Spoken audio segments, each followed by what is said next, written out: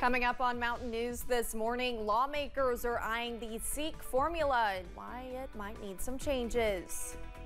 And officials also want to see insurance provide more cost for certain parts of speech therapy for children.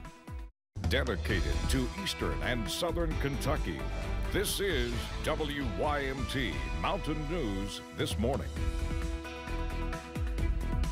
Good morning. I'm Olivia Calfee. The time is 6:30 on Wednesday, March 6th. Now let's check in with meteorologist Tim Drawbridge for a look at your forecast this morning. Good morning, Olivia. It's a wet start to the day for all of us. Temperature wise, 54 outside our door here in Hazard.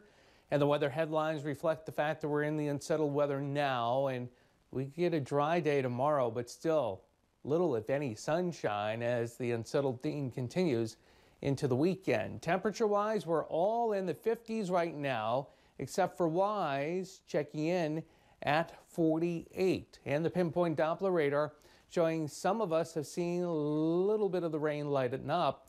We pick up the intensity though as you make your way toward Whitley County, toward Wayne County, and also as you make your way toward uh, Lexington and Harrodsburg across central Kentucky. There is more regarding the intensity, or at least the aerial coverage rather, of the rainfall Tennessee back into Alabama and Georgia, which means that we are going to continue to see our rainfall persists this morning. So mid 50s over the next couple of hours.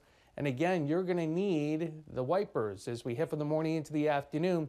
Even though the shower, the rain that is, eases up is showers, mid to late afternoon. More about your first alert seven day forecast that's coming up in just a few moments. Olivia? Tim, thank you.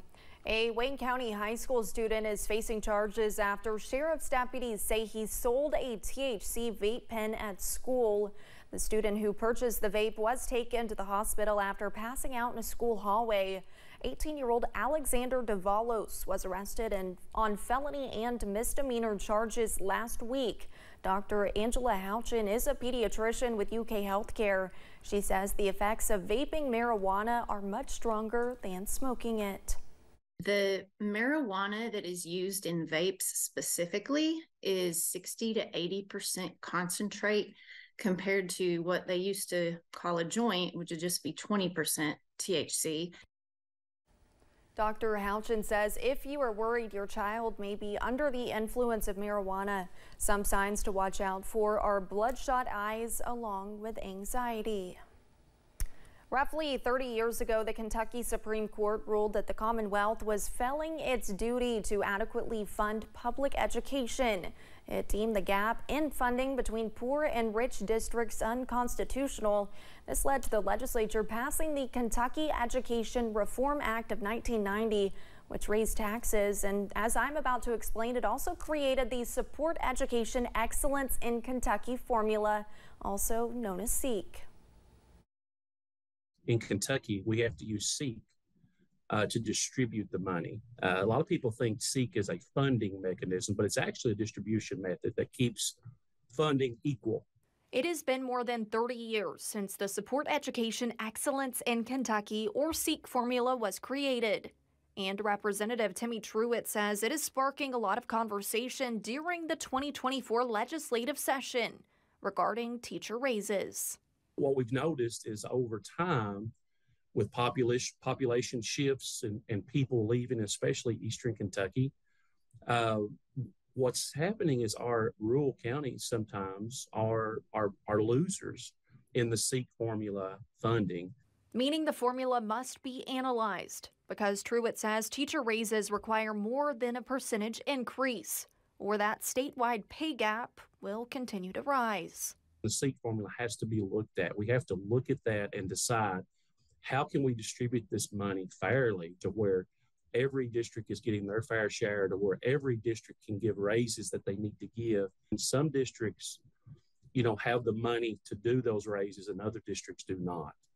Truitt says the House Education Committee has passed the creation of a work group to make changes to the formula. I still look forward to this this this working group. I think it'll be uh, good for education And, and if it can last another 30 years, if we tweak it next year and come up with a new formula and it lasts another 30 years, I think that's a, I think that's a success.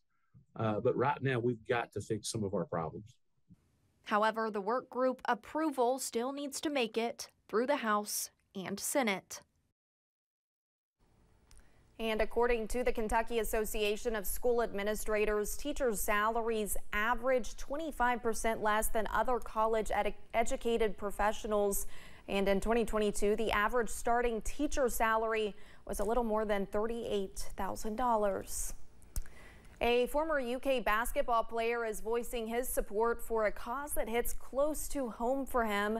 Michael Kidd Gilchrist spoke in front of Senate members in Frankfort, showing his support for a bill that would help kids who struggle with stuttering. Senate Bill 111 would help children who stutter get insurance coverage to get help with fixing the issue. Kidd Gilchrist says he has issues with stuttering and it means a lot to him to be able to advocate for others who struggle in the same way.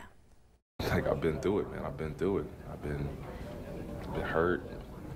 Um, and had about stuttering at times and stuff like that. The bill passed through the Banking and Insurance Committee yesterday in a unanimous vote. It now heads to the full Senate floor. And a bill is now headed to the House that deals with school safety. Yesterday afternoon, the Senate passed Senate Bill 2. It would allow schools to use veterans, retired troopers, and retired federal agents to patrol schools as guardians. And I want to reiterate, in no way is the guardian replacing the important role that our school resource officers are doing for our school systems. The guardian does not have arresting authority. They are simply a stopgap measure to help a school district that right now may not be able to provide an SRO, and this would not begin until the 2025 2026 school year. The bill now heads to the House for a vote. A bill that would require cursive writing proficiency to be taught in elementary schools has passed in the Kentucky Senate. Senate Bill 167 would put the requirement in place starting in fall 2025. The bill passed by a vote of 37 to 0. It now heads to the House for further consideration. The president of Big Sandy Community and Technical College is stepping down. We received a statement from Dr. Scott Rule about his decision saying, quote, BSCTC is vital for education and job opportunities in our rural area. Despite my short tenure, the community embraced me warmly and I've built strong bonds here. I trust KCTCS President Ryan Quarles and the leadership of our college to ensure the continued and future success of the college for generations to come. Rule was selected as the new president last August and had only served since January. Yesterday morning, marchers gathered to reenact Dr. Martin Luther King's Freedom March on Frankfort. On this day in 1964, Dr. King, baseball pioneer Jackie Robinson, and 10,000 people filled Frankfort streets. The leaders met with then Governor Ned Breathitt to discuss the need for a state civil rights law. Governor Andy Beshear marched on the front line. Organizers say this shows people why they marched in the past and the need to march now. It's just to bring the community together as one person, one people, one voice is what we're trying to do today. Is this really truly an in, uh, enactment or is this a continuation of that march because we're still fighting for the same things that Martin Luther King and Jackie Robinson were fighting for then? The march started outside of the Capital City Museum and ended on the steps of the state capitol. This weekend, we are springing forward and losing an hour as we are leaving standard time. However, a current bill that's been filed in the House means this could be the last time ever that Kentuckians observe daylight saving time. The Uniform Time Act allows states to opt out of daylight saving time, staying on standard time year round. And this year, a Kentucky state representative thinks it might be time to stop springing forward and falling back. Kentucky needs to stand up and say, look, we don't want the nation dictating what our time gets to be. We want to do it ourselves. So what my bill would do is it would keep us under standard time.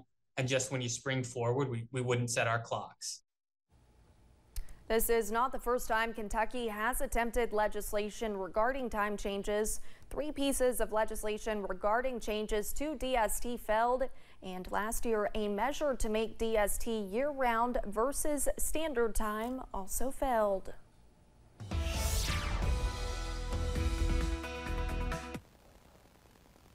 And a good Wednesday, too. Quick weather update showing temperatures on the mild side, but it's damp with the rainfall. 50s for a lot of us, minus Wise checking in over at UVA at uh, 48. The pinpoint Doppler radar showing some lightening up regarding the activity here and around Harlan toward Hazard here, and also as you make your way from Jackson toward West Liberty. You head over toward Whitley and McCreary counties here. We're picking up the intensity your way. And more moisture here will continue to come up from Tennessee back toward Alabama and Georgia. And this will continue to fill in here over the next hour or two. And that means the rain continues this morning, easing up his showers as we head through the afternoon. And the forecast high today in Hazard getting up to 58 degrees. More about the First Alert seven day forecast. That's all coming up in just a few moments. Olivia? Thanks, Tim, and thank you for joining us. The time is now 641. Still to come on Mountain News this morning. After days of talks, no movement on a ceasefire between Israel and Hamas as a major religious milestone draws closer.